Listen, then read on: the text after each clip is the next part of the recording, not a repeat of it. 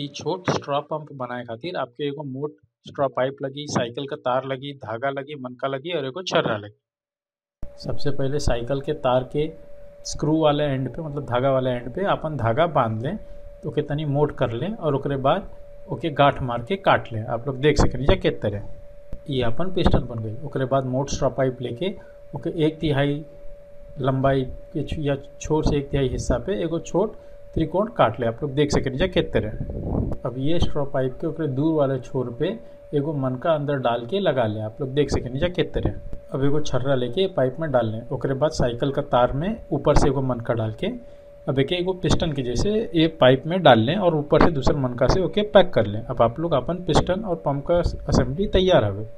अब अपन तैयार पंप आप लोग एक गिलास पानी में नीचे का हिस्सा डुबा के ऊपर का तार अगर ऊपर नीचे करन जा तो आप लोग देख सकें जा कि। छोटा छेदा जो पाइप में बनैले रहनी जा उनमें से पानी बाहर आएला हवे ना बहुत ही अच्छा पंप। ये बहुते सरल पंप हवे बनाए खातिर, बच्चन के बहुते भाएला